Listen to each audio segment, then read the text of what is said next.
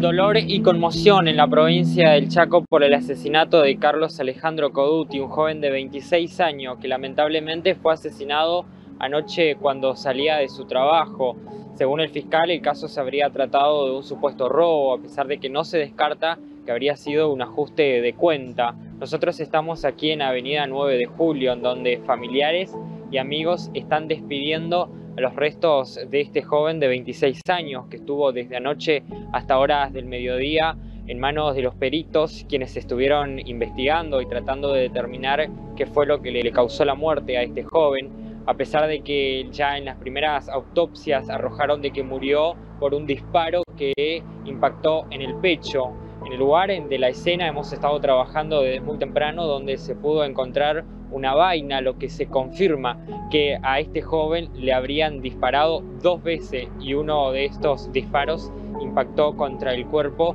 y lamentablemente le quitó la vida.